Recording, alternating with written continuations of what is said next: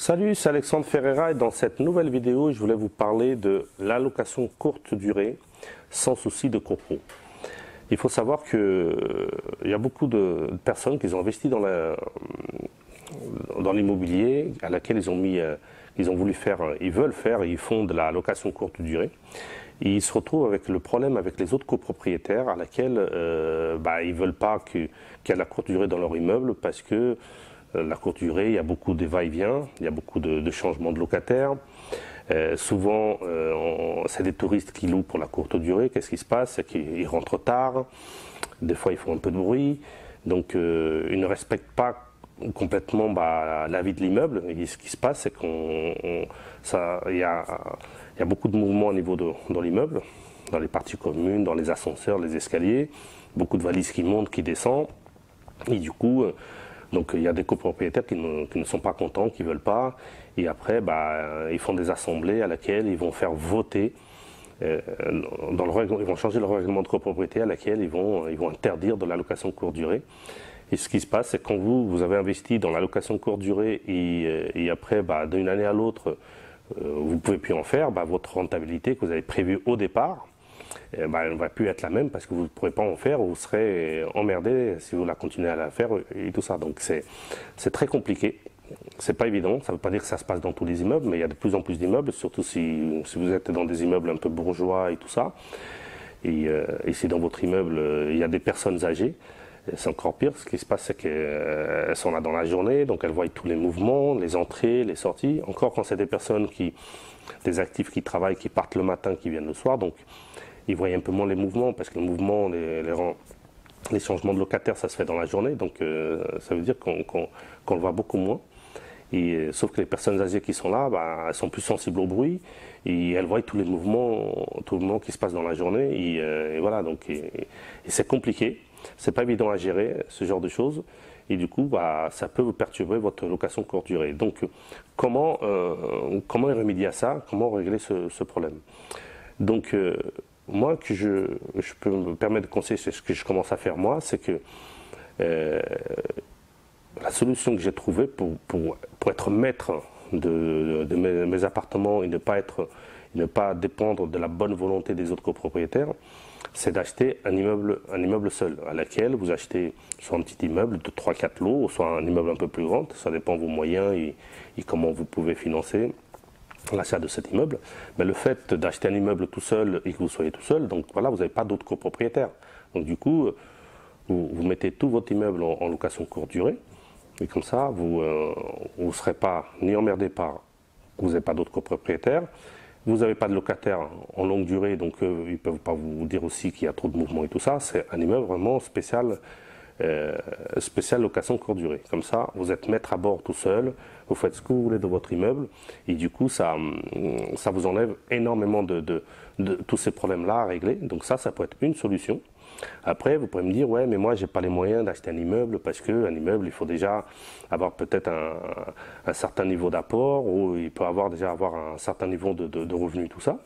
Donc la deuxième solution, c'est d'acheter une maison, une petite maison de ville, à laquelle, si vous êtes en province, une petite maison de ville, ça coûte pas énormément cher, et à laquelle vous pouvez la diviser.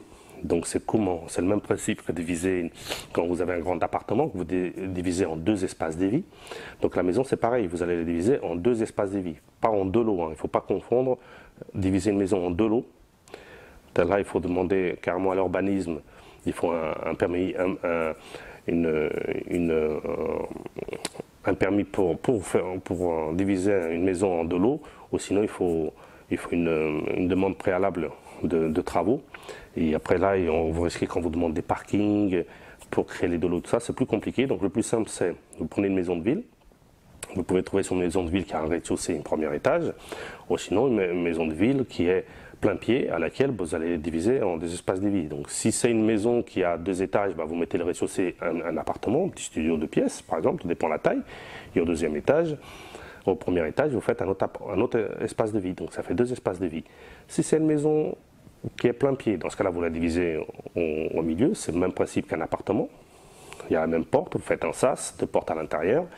Et aussi, ça, ça résout le problème de vous êtes le seul propriétaire, vous, louez deux espaces de vie à laquelle vous pouvez mettre deux locataires en location courte durée et ça résout aussi le, pardon, le problème de ne pas avoir d'autres copropriétaires à laquelle il va vous empêcher de faire la, la location courte durée.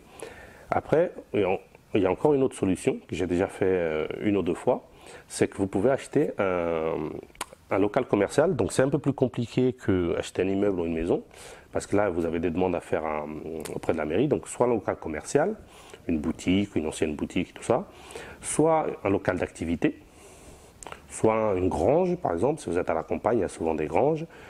Euh, des fois, vous avez une maison et après il y a une grange à côté, ou soit un entrepôt. Donc ça, il faut le transformer en habitation. Mais là, il faut, pour savoir si on peut le faire, d'abord, si vous, avez un, bien comme ça qui vous intéresse, il faut d'abord s'adresser au service de l'urbanisme de la mairie et demander est-ce que c'est possible de transformer ce local en, local d'habitation?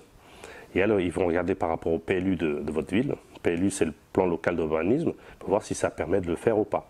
Et là, après, c'est toute une démarche. Donc là, il faut déposer un permis pour une modification de, changement d'utilisation. Et là, le mieux, c'est de prendre un, petit architecte qui a un peu plus d'habitude que, vous, sauf si vous connaissez un petit peu.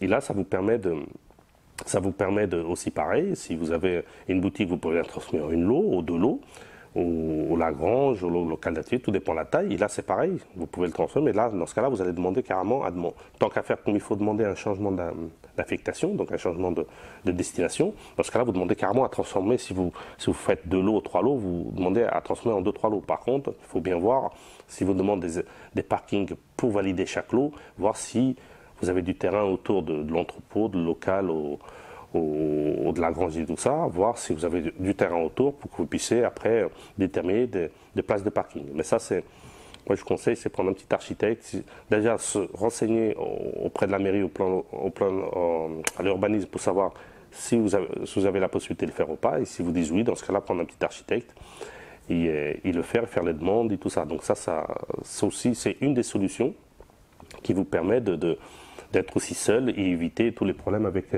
avec d'autres copropriétaires. Après, vous pourrez me dire, ouais, mais bon, aucune des situations j'ai pu avoir. Par contre, j'ai trouvé un immeuble, mais il est un peu trop grand pour moi. Donc là, après, l'autre solution, c'est de trouver une autre personne comme vous qui veut faire de la location courte durée. Et, dans ce cas-là, vous pourrez acheter un immeuble à deux. Par exemple, on prend un exemple, un immeuble qui a six lots.